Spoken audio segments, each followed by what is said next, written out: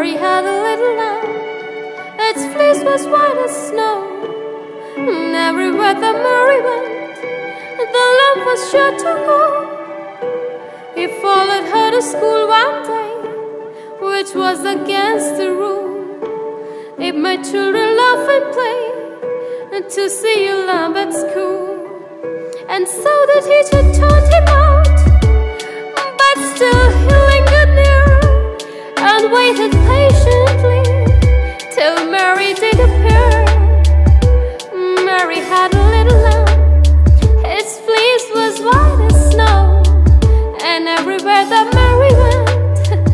Lambos, sure to go.